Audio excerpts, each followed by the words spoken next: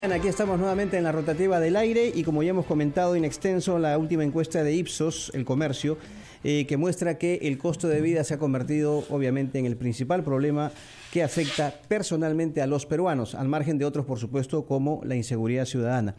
Vamos a conversar con el señor Jorge Carrillo Acosta, experto en finanzas de Pacífico Business School.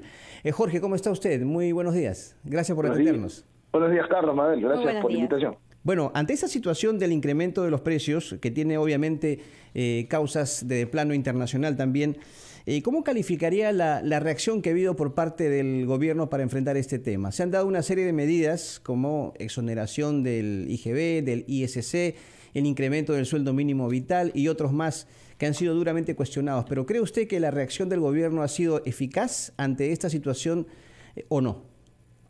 Mira, pues Carlos, lamentablemente creo que no se han tomado las medidas más atinadas.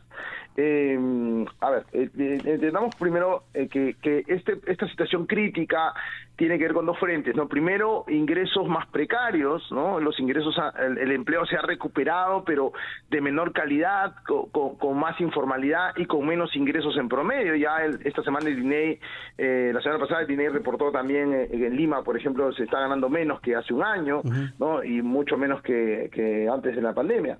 Eh, y lo segundo tiene que ver con los gastos, ¿no? La inflación anualizada está alrededor del 9%, y si consideran los alimentos, pues ya no es 9, sino son ya estamos hablando de dos cifras, ¿no? De alrededor de 15%. Entonces, tiene que ver con los dos lados. Y lo que ha hecho el gobierno es, por el lado de los ingresos, eh, incrementar el sueldo mínimo. Eh, y eso aparentemente puede sonar razonable, ¿no? Aumenta los gastos de las familias, aumenta el ingreso mínimo, pero hay que tener en cuenta que a quien más afecta son a las MIPES, a las micro y pequeñas empresas, eh, que, que lamentablemente pues van a tener que despedir trabajadores porque muchas veces no les va a alcanzar ese sobrecosto, que son más de 1.600 soles al año el incremento del sueldo mínimo para una microempresa, eh, y por otro lado, o pasarlos a la informalidad.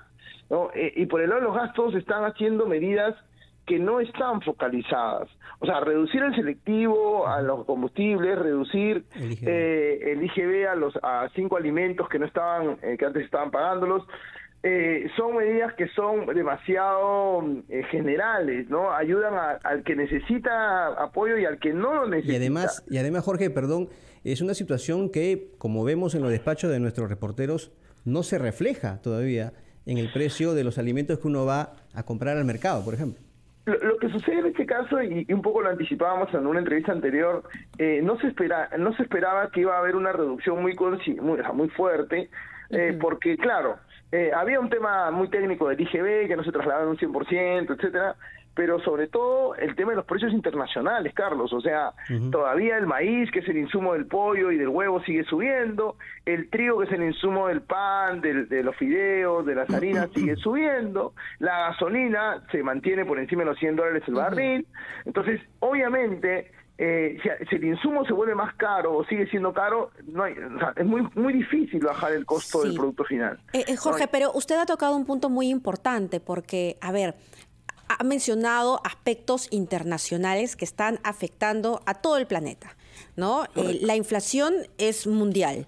Y, y, y, más bien lo que aquí se debe evaluar es la capacidad y la pericia de los diferentes gobiernos para poder aguantar esa crisis internacional.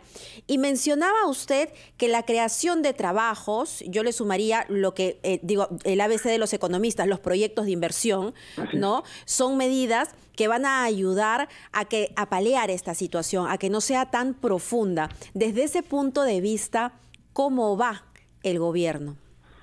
Eh, totalmente de acuerdo con lo que dice Mabel. El, problema se soluciona eh, aumentando los, mejorando los ingresos o reduciendo los gastos. Y, lamentablemente el segundo tema, la reducción de gastos, va a ser muy difícil por un contexto internacional. Es cierto, el gobierno no tiene la culpa de que haya aumentado los precios internacionales, pero sí tiene responsabilidad sobre cómo manejar la situación. Entonces, y, y ahí creo que el enfoque debería ser en mejorar los ingresos de la población. Y los ingresos de la población se consiguen con trabajo, con trabajo digno. Y quien más genera trabajo digno en el Perú es la inversión privada. Y ahí creo que es una tarea pendiente del gobierno, pero pero ahí tienen creo un, un, eh, una, enorme deuda. Eh, ¿Por qué? Porque cualquier inversionista, desde el más grande hasta el microempresario que quiere poner un segundo local o que quiere abrir un nuevo negocio, necesita estabilidad. necesita creer en, que las reglas de juego van a estar claras.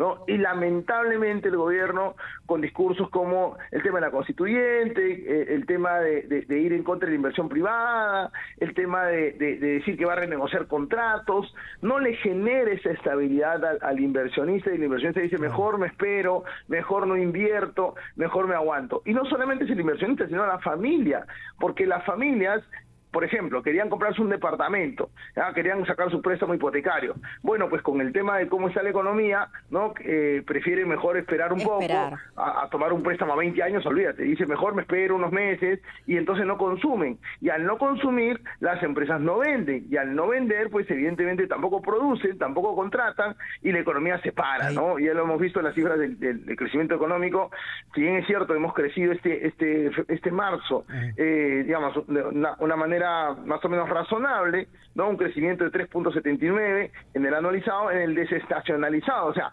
mirando febrero contra marzo hemos, hemos bajado en crecimiento. Entonces, eh, te das cuenta cómo la economía se está parando, no se está enfriando, dicen los economistas, por, justamente por este tema de eh, la poca la poca promoción de la inversión pero no solamente pero no solo ello no porque ahora que pone eh, el ejemplo no solamente de las grandes empresas que donde hay mucho dinero si invierto o no invierto porque las reglas de juego no están claras y eventualmente hay amenaza de que esto cambie eh, si uno se pone a pensar en el señor que quiere poner su panadería, en la señora que quiere poner su bodega, junta su dinero, pide un préstamo, lo logra, pero la inseguridad ya no es legal, sino la inseguridad viene por el lado de la delincuencia. Vienen, la asaltan, se llevan lo ganado. A la semana siguiente la vuelven a asaltar, ¿no? Y entonces hemos visto casos inclusive de negocios que tienen que cerrar ¿no? Y pierden todo su capital porque la delincuencia no les permite seguir avanzando. Y ese es otro aspecto muy importante, sobre todo para aquellos pequeños empresarios. Mira, Mabel, para el pequeño empresario hay tres cosas importantes. La primera, como tú mencionas, el tema de la inseguridad, ¿no? Este tema de los asaltos, los secuestros, las amenazas, ¿no? Las extorsiones. Los cupos que tienen que pagar, ¿no? Así es, hemos visto lamentables casos en las recientes semanas. Eh, y lo otro es, eh, mira, además, Mabel, yo voy a hacer una panadería, como tú decías, una bodega, y corre riesgo de que en cualquier momento también este, haya una marcha, no haya una protesta eh, y, o, haya una paralización y, me cierren la bodega y no pueda y no pueda abrir mi negocio. También es otra inestabilidad importante y hay otro tema también eh, hay que tomar en cuenta que es el costo del crédito. No tú hablas de que te pido me pido prestado para implementar la bodega y el costo del préstamo viene subiendo también para controlar la inflación. O sea, hay una, una razón de ser que el Banco Central está aumentando la tasa de referencia que hace que el, que el, crédito aumente, pero obviamente le encarece también los costos al, al, microempresario esta subida de tasas, ¿no? Jorge, eh, usted hizo referencia al, al, nivel de inflación. La inflación anualizada ha llegado a su nivel más alto en abril, desde hace 24 años. ¿Cuál es la perspectiva que usted ve en el índice de inflación de aquí a fin de año? ¿Cómo puede evolucionar de acuerdo a las circunstancias y a los factores que hay? Eh, correcto, la inflación está alrededor del 9% a nivel nacional, la más alta en los últimos 10 años. En alimentos y bebidas está en más de 15%, y en combustible más de 10%, en transportes más de 10%. O sea, ya cuando la focalizas en la canasta básica, peor todavía se pone el, asunto. Eh, y ahí el banco, el mismo Banco Central en su informe de jueves pasado anunciaba que esperaba que la inflación empiece a descender a partir de julio. O sea, este mayo y, el próximo mes de junio va a seguir subiendo probablemente, va, a situarse alrededor del 9%, pero a partir de julio va a empezar a bajar. Ahora, tampoco es que va a bajar a niveles prepandemia. Recuerda que el Banco Central tiene un rango meta que es entre 1 y 3% anual y estamos pues al triple de ese rango meta.